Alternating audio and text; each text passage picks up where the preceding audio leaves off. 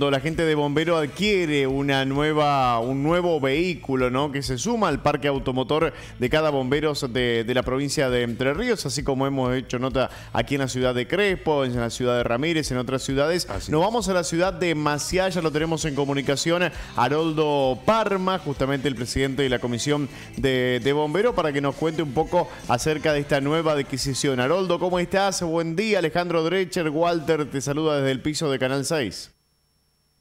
Hola Alejandro, Walter, bueno, buenos días y la verdad que un gustazo poder comunicarme con ustedes y, comentar un poquito de lo que ha sido bueno el arribo de esta nueva unidad para el cuartel. Muy bien. ¿eh? Bueno, eh, me impactaron los anteojos. Sí, no, Haroldo tiene una óptica. Incluso ah. mis primeros anteojos fueron de ahí de la óptica de Haroldo. Ah, eh, así que bueno, este, bueno. No, no, no. le ha cuidado la vista. Todavía los tengo. Eh. Muy bien. Bueno, Haroldo, este, primero agradecerte por el contacto y bueno, vemos las imágenes ahí también. La gente lo está viendo en la columna derecha. Hermoso el vehículo que han adquirido. Sí, exactamente. La verdad que bueno. Eh, eh, como integrante de la comisión directiva, la verdad que muy, muy felices por la adquisición de este nuevo eh, unidad autobomba forestal marca Renault. Eh, nosotros comenzamos las gestiones el año pasado, en mes de mayo, cuando firmamos el contrato, digamos, y bueno, hicimos el pago del mismo. Esta unidad se importó desde Europa. es un vehículo que está en muy buenas condiciones, un año modelo 96, con 15.800 kilómetros. Así que bueno, eh, la verdad que era una joya de, vehículos porque bueno, obviamente en el estado de conservación que se mantenía, mm. no dudamos en comprarlo. Nosotros, eh, bueno, Walter, vos más o menos estás al tanto de la situación de, bomberos acá en Maciá. Eh, desde el año 2019 se empezó a reformar, digamos, la comisión, reformó una nueva comisión reorganizadora.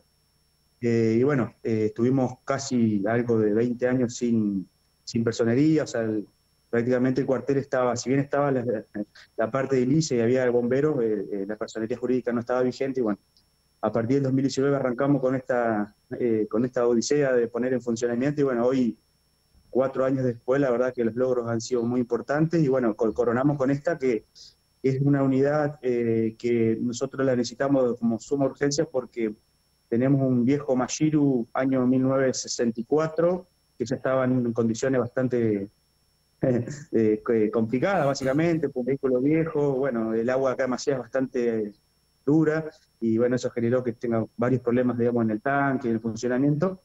Así que bueno, eh, decidimos eh, encarar este, este proyecto y, y, gracias a Dios después de un largo esperar, porque bueno, tuvimos algunos contratiempos con el tema de los papeleríos, algunas cuestiones ahí en la aduana, eh, pero bueno, eh, lo importante es que este sábado se pudo ir a buscar a San Martín de la Escoba, donde estaba el vehículo, porque se le hizo unos, unos retoques de pintura y un service, la gente que, nos hizo la importación.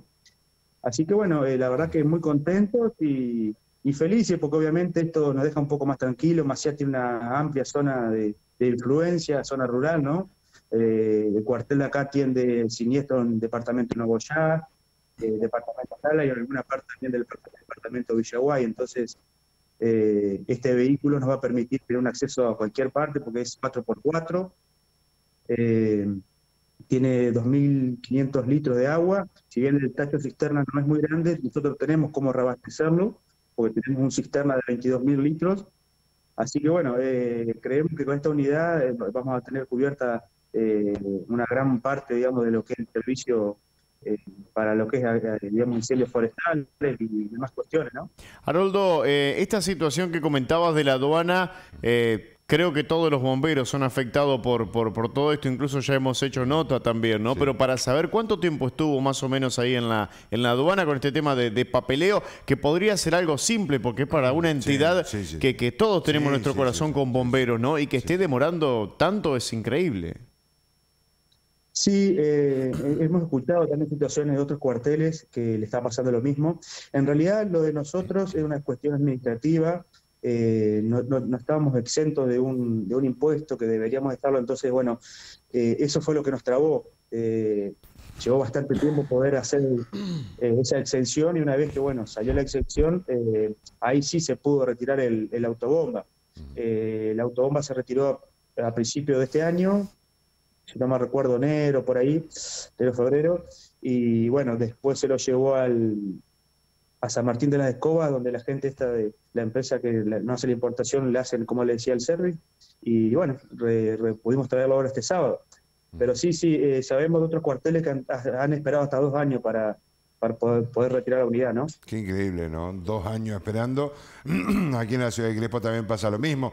Convengamos que tendría que haber una pequeña diferencia entre que esto es una autobomba y no una Ferrari, digo por allí, o un Lamborghini o algún otro vehículo suntuoso de alguna manera, que por allí sí se podría llegar a justificar. Pero digo, esto es una autobomba, no es este algo de, de placer o suntuoso, digo por allí, que se necesita ayer de alguna manera también los bomberos este, siempre están ahí al, tanto. Digo, a ver, es, casi este, a ver, contradictorio lo que pasa allí con la aduana. No solamente con los bomberos, digo, pasa con otras empresas también que necesitan maquinaria, por ejemplo, para que funcione, eh, claro, que funcione su, empresa, digo, y, se traba y están, como usted decía, dos años, es una locura esto. Digo, estaba viendo el camión allí, muy bien acondicionado para lo que es justamente eh, forestación, con, con esa eh, barra antivuelo este, con las gomas acorde también, 4x4, un vehículo que puede llegar a cualquier lado. Creo que esa es la,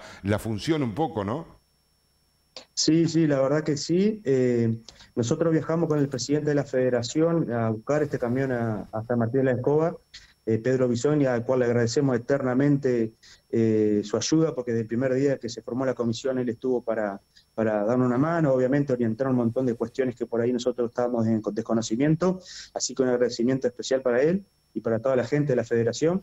Y bueno, él, eh, él nos comentaba que ellos tienen un vehículo igual, similar a este, un poquito más grande el motor, y lo han visto en acción mesiana, y la verdad que es imparable, es una unidad que tiene mucha potencia, es alto, es doble tracción, o sea, te podés meter en cualquier lugar con este, con este vehículo, así que bueno, eh, por eso también nosotros nos inclinamos por una cuestión de que acá en Maciá, como les decía, tenemos mucha zona rural. Nosotros este verano que pasó eh, fue bastante complicado. Eh, los chicos tuvieron que salir hasta tres, cuatro veces por día con el tema del incendio que había en Banquira, en campo. La verdad que fue, fue una situación crítica. Y bueno, lo hacíamos con lo que teníamos, con el viejo Mayiru, y bueno, con teníamos una autobomba también que se lo trajimos en el año 2021, eh, que es una autobomba de ciudad, no, no, no es, una, es un vehículo mucho más bajo, es, es, es, es tracción simple, entonces bueno, y ahí llegábamos hasta donde podíamos, pero la verdad que bueno, con esta unidad es, otra cosa ya.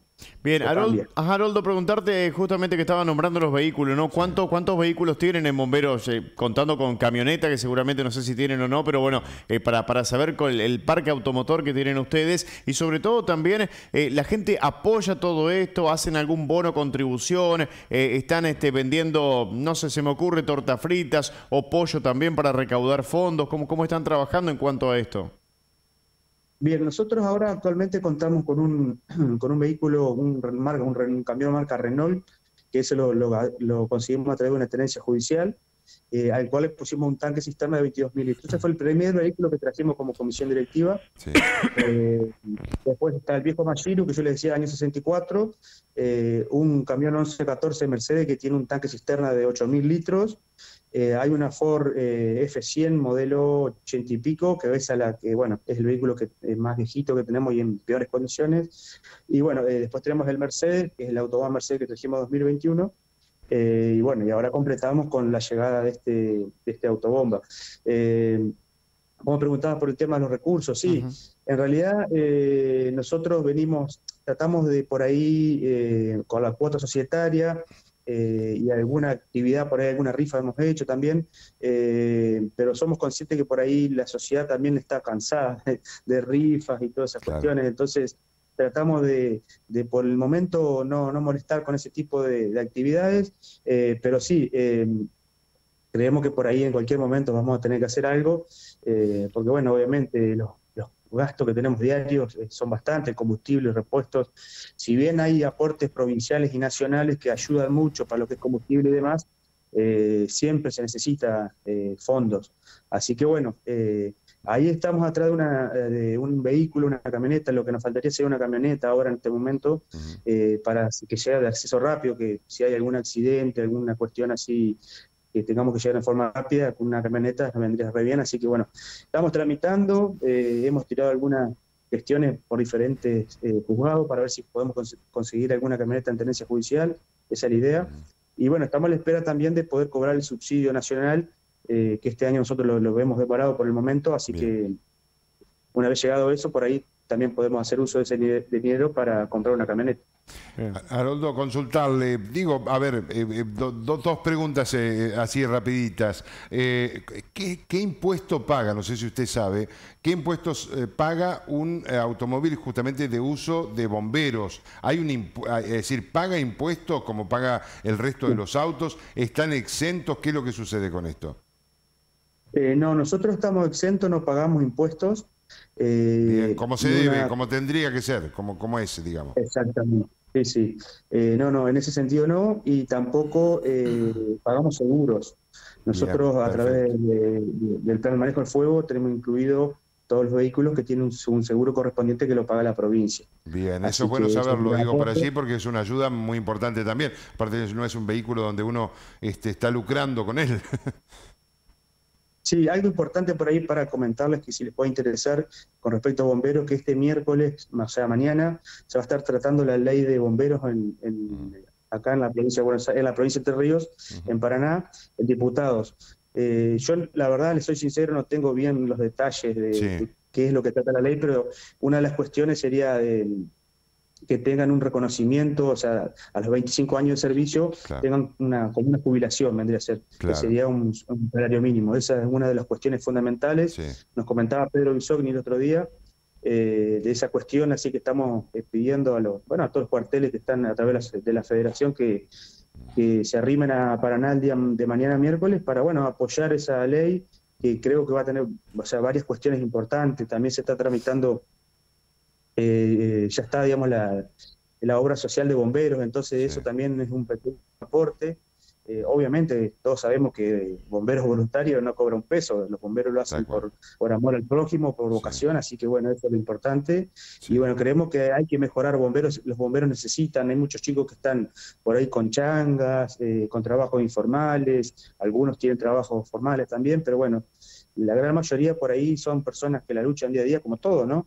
Eh, y que por ahí eh, habría sería algo para repensar, creo yo, un sueldo, ver la forma algún día en un futuro de, que sean reconocidos, digamos, más allá que hay bomberos zapadores, la gran mayoría de bomberos de la provincia y del país creo que son bomberos voluntarios, entonces eso que me parece que hay algo a ver a futuro, ¿no? Ahí está. Bueno, ahí estábamos. Bien, ¿eh? Agradecerle a Haroldo por, por el tiempo. preguntas, porque tiene eh. ganas de hablar, Haroldo. Sí, este, sí, sí. algunas preguntas. Me parece que son los más equipados del, del, departamento, si no me equivoco. Están muy bien equipados, Haroldo, ¿no? Lo que tiene que ver. tiene este vehículo? Más o menos, ¿tienen una idea del costo del vehículo? Rapidito. Nosotros lo pagamos, el año pasado lo pagamos 31.300 euros oficiales, ¿no? ¡Ay, Dios mío! oficiales. ¿Qué costos, eh, digo? Era algo de 4 millones y pico el año pasado. Eran, el año pasado, digamos, con un dólar a 200 pesos, ¿no? Sí, claro. Qué eh, bárbaro, bueno. Lo hicimos a través de un subsidio que recibimos todos los años de, de Nación. Eh, Así que ese, de esa forma se llegó. Bueno, agradecerle muchísimo a Loldo eh, Parman justamente la comunicación, seguramente lo vamos a volver a molestar allí. Y este y Walter seguramente se va a pegar una vueltita y después tiene que ajustar una patilla. Del... Sí, sí, sí, vamos a buscar algo en la óptica ahí de, Auspicia. No hay problema, no hay problema, cuando guste. Muchas gracias, Loldo, que sigas bien. El abrazo.